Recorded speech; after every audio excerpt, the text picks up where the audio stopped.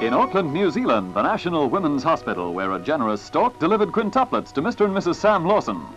The proud parents are on hand for going home day for the Quins, who've been a five-star attraction at the hospital since they were born on July 27th. The foyer is packed for the farewell, and perhaps naturally enough, the least excited are those five well-wrapped bundles. Mr. and Mrs. Lawson have decided on the names Lisa, Debbie, Charlene, Selina, and Sam. Now, all they have to decide on is which is which.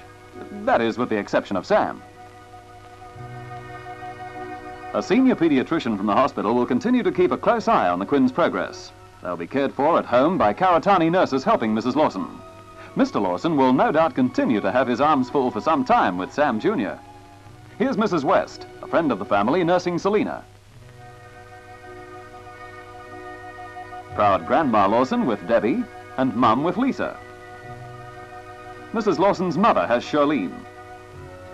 Home at last, and if anybody loses the tapes around the baby's wrists now, there'll be identity trouble. The tapes carry the only clue to their names.